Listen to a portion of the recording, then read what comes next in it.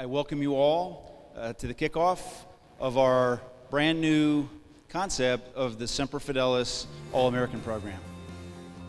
This new initiative is all about celebrating the fighting spirit that young women and men have displayed through their athletic achievements, through their academic excellence, and the work they do within their communities. The 100 elite high schoolers that are selected as Semper Fidelis All-Americans will be recognized at the Battles Won Academy in Washington, D.C. next summer. It's a multiple-day event that will feature guest speakers from the worlds of sports, business, government, entertainment. It's an opportunity to inspire and be inspired and hear stories of people that have fought and won their own battles and have eventually become successes.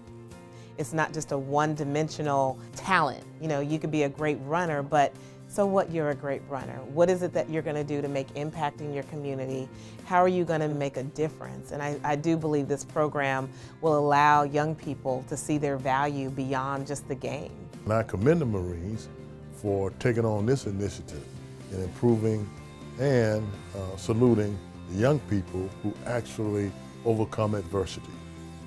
You see Marines going into harm's way, whether it's fighting in the Middle East or they're, they're performing humanitarian assistance missions. And so I think that that is kind of the bonding, uh, the common element amongst all Marines is that when faced with tough choices, when faced with, with, with tough uh, decisions, uh, that they won't quit. So the Marine Corps is all about overcoming any obstacle that's put in their way and uh, they've proven that time and time again. That's what the Marine Corps is all about, is, is getting the job done.